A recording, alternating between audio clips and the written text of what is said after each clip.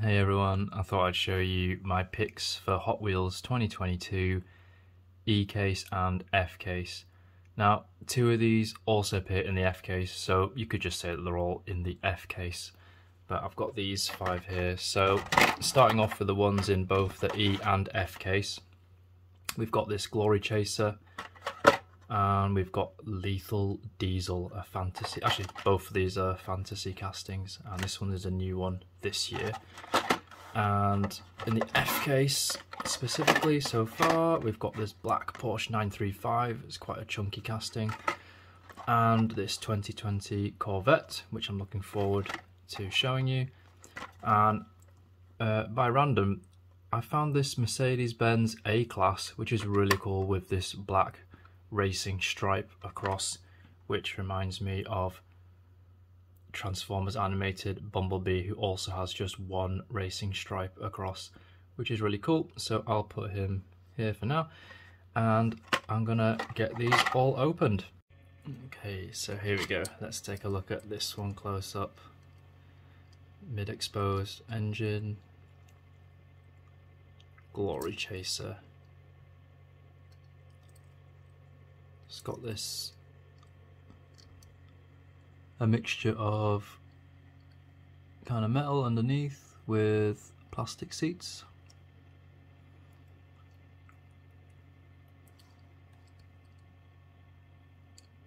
Again, uh, plastic window uh, front headlights, really cool.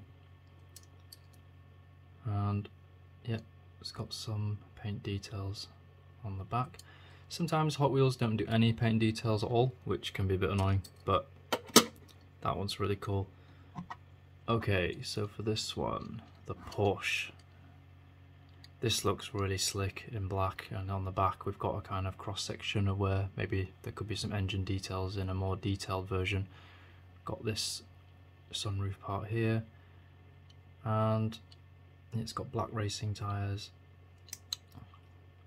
Porsche 935 Hot Wheels logo there.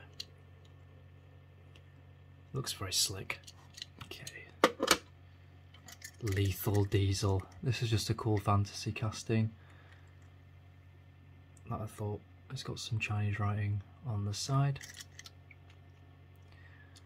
And yeah, I mean it's uh, it's got two maybe oil cans on the back. 89 Rescue. Overall just a cool armoured armoured SWAT or police car. Okay, this is the Mercedes-Benz. So this came out cooler looking than I thought. But to me, I like surprises like that. Where you look at it and you think, yeah, it's just a not that interested. But then you, you get it and you're like, oh right, yeah, it's um, yeah, it's pretty cool. It's got the shape really well down. It's got a number plate even, or Hot Wheels MB 021 and that cool racing stripe down the front. So this bit's plastic and plastic here. Uh, I think I've seen there's sort of a trend, I guess, where more cars are just having this kind of front windscreen and a kind of sunroof together as one. And it's got these yellow rims here.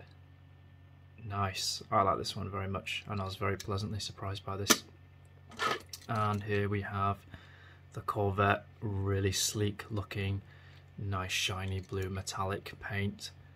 Can't really go wrong with a Corvette and here on the front. I guess uh, they could have done more detail because that everything's just blue and maybe the grills they could have painted a bit darker or something but it is what it is. And on the back you can see look some writing Corvette. And it's got sort of painted tail lights which are also really cool. So all in all some pretty cool mainline castings here really cheap as well just a couple of quid in the UK I think uh, on the back we can see some of the kind of engine or parts side. There's a bit of a scratch on mine here on the front windscreen from the factory, which is a shame, but it happens. Um, but you know, for a couple of quid, you can't really complain much. So, uh, again, I just thought I'd have my little Transformers animated Bumblebee next to the car here.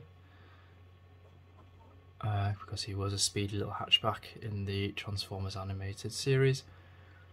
Uh, so yeah, let me know what you thought of the D, uh, sorry, the E and F case castings. Uh, let me know which ones you got, which ones did you like, uh, which one's your favourite, and uh, yep, subscribe for more reviews.